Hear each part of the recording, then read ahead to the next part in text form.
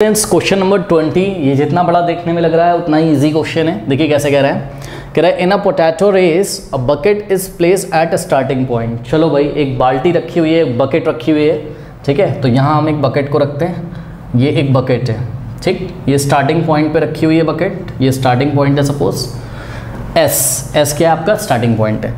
कह रहा है कि which is five metre from the first potato ठीक है? पहला पोटैटो जो रखा हुआ है, वो इस स्टार्टिंग पॉइंट से कितना डिस्टेंस पे रखा हुआ है?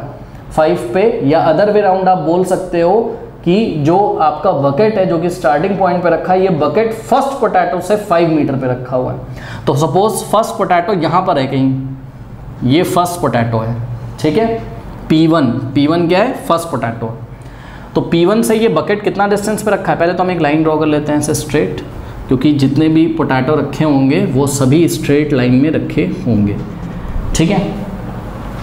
तो ये डिस्टेंस कितना है? ये डिस्टेंस है कितना? Five metre correct first potato का कहाँ से स्टार्टिंग पॉइंट से या स्टार्टिंग पॉइंट का कहाँ से? फ़र्स्ट पोटैटो से। ओके कह रहा है and the other potatoes are place three metre apart in a straight line मतलब इसी स्ट्रेट लाइन में अब जो पोटैटो रखे होंगे, वो थ्री थ्री मीटर्स पे रखे होंगे। तो सोचो फाइव अगर इतना है तो फाइव से थोड़ा सा कम, यानी कि थ्री तो जो सेकेंड पोटैटो होगा, वो यहाँ रखा है। और फ़र्स्ट पोटैटो और सेकेंड पोटैटो के बीच का डिस्टेंस कितना है? थ्री मीटर समझ में आई बात? तो ये कितना हो गया? मैं यूनिट नहीं लिख रहा हूँ, बस मैं थ्री लिख रहा हूँ, आप समझ लीजिएगा। ठीक है, फिर थर्ड पोटैटो यहाँ रखा हुआ है पॉइंट पी थ्री पे। करेक्ट और ये थर्ड पोटैटो ये सेकेंड से थ्री मीटर की डिस्टेंस पे। फिर फोर्थ पोटैटो रखा होगा। इसी तरीके से फोर्थ पोटैटो पोटैटो भी जो है थर्ड से आपका कितने डिस्टेंस पे होगा? थ्री मीटर पे। कह रहा है कि आगे पढ़िए। कह रहा है there are ten potatoes in a line ठीक है? तो इसी लाइन में टोटल कितने पोटैटो हैं?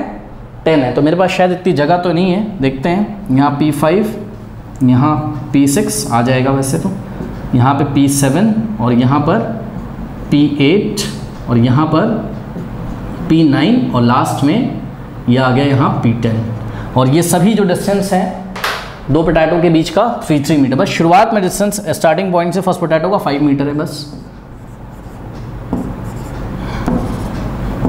तो ये भी थ्री है, ये भी थ्री है, ये भी थ्री है, ये भी थ्री है, ये भी थ्री है और ये भी थ्री है। करेक्ट अब देखिए, इस क्वेश्चन में आपको बोलता क्या है? कह रहा है a competitor start from the bucket ठीक है? तो कोई कॉम्पिटिटर है, वो कहाँ से स्टार्ट करेगा? बकेट से। यहाँ से स्टार्ट करेगा। कोई कॉम्पिटिटर है ये? यहाँ से स्टार्ट करेगा। फिर क्या करेगा? Picks up the nearest potato game समझ में आ रहा है? गेम क्या है? स्टार्टिंग पॉइंट क्या है? बकेट बकेट से जाएगा और उसको सारे आलू इस बकेट में रखने हैं। लेकिन पता है रूल क्या है? रूल ये है कि एक बार में एक ही आलू उठा सकता है वो। समझ में आई बात? तो सबसे पहले क्या होगा? इसको उठाएगा P1 को और ले आके बकेट में रख देगा। ठीक? तो बताओ कितना चला ये? ये जो कॉम्पिटिटर है या जो भी कॉम्पिटिटर कॉम्पिटिशन में, क्योंकि यहाँ पे शी का यूज़ किया, जो भी लड़की है यहाँ पे बनी हुई आपकी बुक में। ठीक है? तो ये स्टार्टिंग पॉइंट से चलती है फ़र्स्ट पोटैटो उठाती है। कितना चली डिस्टेंस बताओ? फाइव मीटर और वापस जाएगी बकेट में, इस पोटैटो को डाल देगी। तो वापस कितना चली? फाइव तो फाइव प्लस फाइव कितना हो गया? टेन यानी कि जो पहली बार इसने डिस्टेंस ट्रेवल करी, वो कितनी ट्रेवल करी? टेन मीटर ठीक है? तो पहली बार जो इसने डिस्टेंस ट्रेवल करी, वो टेन मीटर ट्रेवल करी. करेक्ट अब देखते हैं क्या होगा। देखो, यहाँ से गई, वापस यहाँ गई। वापस कहाँ पहुँच गई? बकेट के पास। ठीक है? ये पोटैटो तो गया। करेक्ट अब यहाँ से वापस जाएगी और पोटैटो टू को उठाएगी। तो पोटैटो टू को उठाएगी तो यहाँ से स्टार्टिंग पॉइंट से पी टू तक की डिस्टेंस कितनी है? फाइव प्लस थ्री एट समझ में आई बात की नहीं? हाँ? दिख रहा है ना? यहाँ से एस से पी वन तक फाइव और पी वन से पी टू तक थ्री तो five plus three total eight metre हो गया यहाँ से यहाँ तक। ठीक है? तो एट मीटर जाएगी एट मीटर वापस आएगी। तो टोटल डिस्टेंस कितना ट्रेवल करेगी? सिक्सटीन मीटर बात समझ में आई कि नहीं?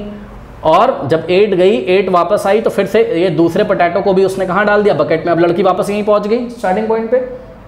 अब थर्ड पोटैटो उठाएगी तो लड़की यहाँ से जाएगी और पी थ्री वाले पॉइंट तक जाएगी। कितना डिस्टेंस ट्रेवल करेगी बताओ? Five plus three plus three यानी कि एट देखो एट तो पहले ही यहाँ तक है पी टू तक, और एट प्लस थ्री इलेवन तो इलेवन मीटर जाएगी और इलेवन मीटर आएगी। तो eleven plus eleven twenty two metres total distance हो गया थर्ड टाइम थर्ड पोटैटो भी डाल दिया, खत्म। अब जैसे पोटैटो यहाँ डालेगी, यहाँ पहुँच गए। अब फोर्थ पोटैटो जब उठाएगी तो यहाँ तक तो इलेवन डिस्टेंस है इलेवन प्लस थ्री कितना हो जाएगा? इलेवन प्लस थ्री 14 तो 14 मीटर आएगी और 14 मीटर वापस जाएगी। तो कितना हो जाएगा? 14 प्लस फोर्टीन कितना हो जाएगा बताइए? 28 तो फोर्थ पोटैटो को उठाने में उसको 24 मीटर डिस्टेंस ट्रेवल करना पड़ेगा। बात समझ में आई कि नहीं? अब फोर्थ पोटैटो भी रख दी। इस तरीके से करते करते वो जब लास्ट पोटैटो उठाएगी, ये टेनेथ तो यहाँ से यहाँ तक का डिस्टेंस ट्रेवल करेगी और वापस इतना ही डिस्टेंस ट्रेवल करेगी। ठीक है? तो आप अगर ध्यान से देखें तो मैं अगर आपसे पूछूँ यहाँ पर कि भाई बताओ, ऐसे कितने टर्म्स आएँगे? तो आप बोलोगे ऐसे टोटल टेन टर्म्स आएँगे कि नहीं आएँगे? ठीक है?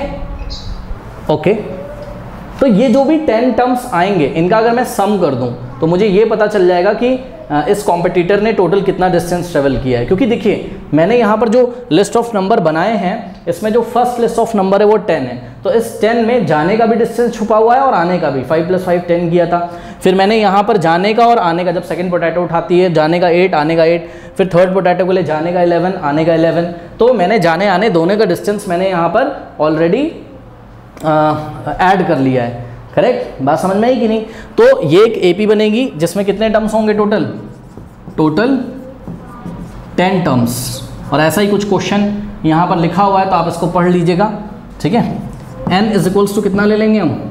टेन ले लेंगे। देखिए ना पढ़ लीजिए कह रहा है कि Uh, क्या कह रहा है competitor start from the bucket picks up the nearest potato runs back with it drops it in the bucket and runs back to pick up the next potato runs to the bucket to drop it in she it in and she continues in uh, the same way until all the potatoes are in the bucket. What is the total distance the competitor has to run? Okay? तो n का value कितना ले लेंगे हम? 10 ले लेंगे। अब बस इस AP के 10 टर्म्स का सम निकाल लीजिए। तो क्या फॉर्मूला लग जाएगा? S N is equals to N by two in the bracket two A plus N minus one into D correct S N N कितना है? टेन है। तो ten by two in the bracket two into A A कितना है? Ten है। तो ये ये फ़र्स्ट टर्म है ना? और अगर कुछ बच्चे ध्यान से देख रहे हो यहाँ पर तो देखिए कन्फ्यूज़न नहीं है। यहाँ ये ए पी बन रही कैसे? Sixteen minus ten six twenty two minus sixteen कितना आता है? Six twenty eight minus twenty two six यानी कि कॉमन डिफरेंस कितना है? सिक्स है। ओके तो टू इंटू ए करोगे ए कितना है? टेन फ़र्स्ट टर्म टेन है। तो टू इंटू टेन ट्वेंटी और प्लस एन की वैल्यू कितनी है? एन की वैल्यू है ten ten minus one nine into D D कितना है? सिक्स है। सॉल्व कर लेंगे इसको। तो ये हो जाएगा हम लोगों का टेन अपॉन टू, और ब्रैकेट में सिक्स नाइन का कितना होता है फिफ्टी फोर है ना? और फिफ्टी फोर और प्लस ट्वेंटी कितना हो जाएगा? सेवेंटी फोर तो ये ब्रैकेट सॉल्व हो गया तो 74 आ गया, और टू वन ज़ा और टू थ्री ज़ा और टू सेवन ज़ा थर्टी सेवन इंटू टेन कितना हो जाएगा टोटल 370 और यूनिट लिखना नहीं भूलेंगे तो यूनिट हम फाइनली क्या लिखेंगे? मीटर्स क्योंकि मीटर में उन्होंने हमसे बात करी थी तो फाइनल हम आंसर लिखेंगे Therefore, the competitor will run a total distance of 370 meters. Okay.